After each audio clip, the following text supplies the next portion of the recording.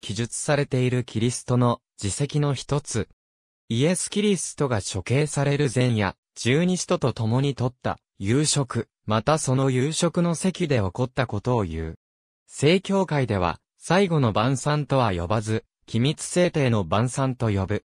晩餐は、イエスの復活後にも、弟子たちと共に行われていたほか、現在に至るまで生体礼儀として教会に継承されており、本校で述べる晩餐は、最後のものではなかったからだとする。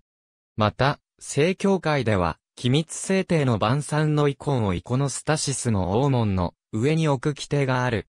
日本聖書協会による、新共同訳聖書では、該当する聖書の記述箇所に、主の晩餐との見出しが付けられている。この場面に関して、数々のイコンが描かれてきたが、芸術作品としては、レオナルド・ダ・ヴィンチが絵画で描いた、最後の晩餐が有名である。聖教会の生体礼儀で使われる聖パン。写真に写っているのは、聖変化に用いられる大きなパンではなく、生体礼儀中の記憶と呼ばれる祈りに使われる小さなパンであるが、形状は同じものである。カトリック教会、聖公会、及び一部プロテスタントで用いられる、ホスチアとも呼ばれる無発酵パン。写真のように薄い形状をしたものがよく用いられるが、稀にせんべいのように厚い無発酵パンを用いる、教会もある。この夕食の場で、使徒の一人がイエスを裏切ることが告げられ、また、使徒たちが自分の苦難に際して逃げ散ることを予告する。弟子たちはこれを聞いて動揺する。ペットロは、鶏が鳴く前に三度キリストを否むと告げられ、これを強く否定する。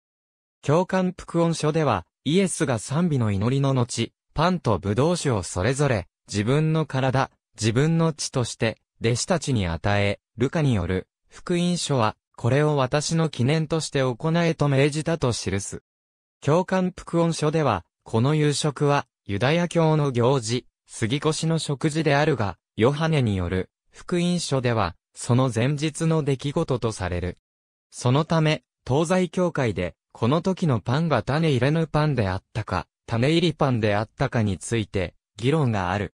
この議論は、現代における、生産式に、どのようなパンを用いるかに影響する。西方教会はこの晩餐を、杉越の食事と捉え、ミサ、生産式においてパンは、種入れぬものを用いる。カトリック教会の教えでは、晩餐の中で最も驚くべきことは、エウカリスチアの筆跡が制定されたとされる。他方、東方教会ではこの晩餐を、杉越前の食事であると解釈し、かつ、ギリシャ語聖書原文にあるロータウは、発酵パンを表すことを根拠とし、生体礼儀で種入りパンを用いている。ヨハネ福音書には、パンとブドウ酒についての言及はない。その代わりに、ヨハネ福音書では、夕食の時、弟子たちの足をイエスが洗う。聖木曜日夕方に、一部の教会で行われる、専属式は、これにちなんでいる。司会文書の研究から、この場面は、クムラン教団の、聖に関する規定に由来するという指摘がある。